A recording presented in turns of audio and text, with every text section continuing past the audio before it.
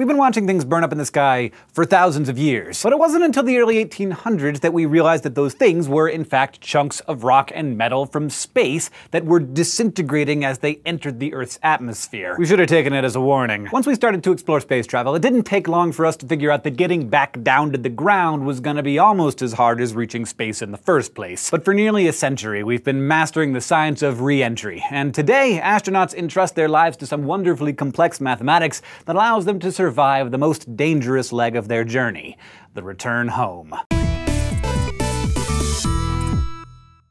An object is said to enter the Earth's atmosphere when it crosses what's known as the Kármán line, 100 kilometers above the surface of the Earth, where the atmosphere becomes dense enough to support traditional air flight. But where the atmosphere is dense enough to support planes, it is too dense for spacecraft to be traveling at extreme speeds. Take our beloved retired space shuttle. When it began its descent back to the Earth's surface, it entered the atmosphere at a face-melting 7,700 meters per second, and that was after it had slowed down considerably. At this kind of speed, transition from the relative emptiness of space to our nice thick atmosphere is like running into a wall of air. The air doesn't have time to move out of the way of the spacecraft, so it just compresses. And the more it gets compressed, the hotter it gets, up to 1,477 degrees Celsius in the space shuttle's case. Any craft not specifically designed to withstand that kind of heat would burn up entirely.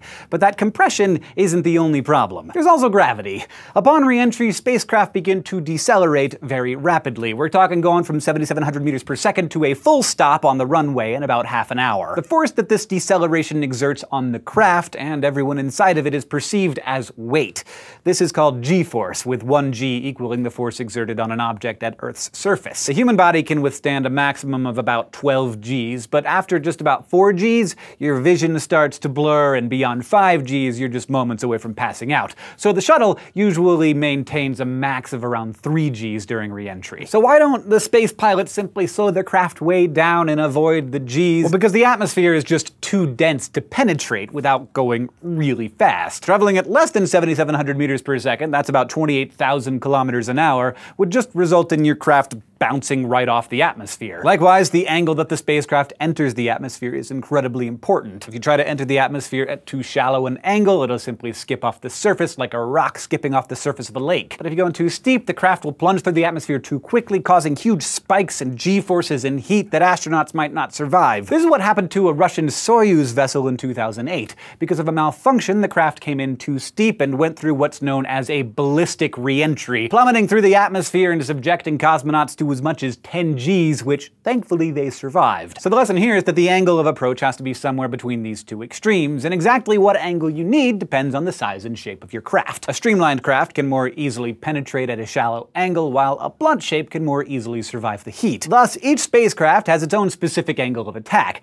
but generally that's about 40 degrees, steep enough that it can penetrate the Kármán line, but shallow enough that, you know, everybody survives. The precise angle and specific point of re-entry are together called the re-entry corridor, and its location depends on where the craft is supposed to land. So surviving re-entry, as you might expect, relies on a lot of math. It is rocket science, after all. But of course, you also need a craft that's made from materials that can shield it and its contents from the extreme forces of re-entry. And that is what we're going to explore next week on SciShow Space. Thanks for joining me here on SciShow Space. If you want to learn how you can help us keep exploring the universe, you can go to subbable.com slash scishow to learn how you can become a contributing member. Don't forget to go to youtube.com slash scishow space and subscribe.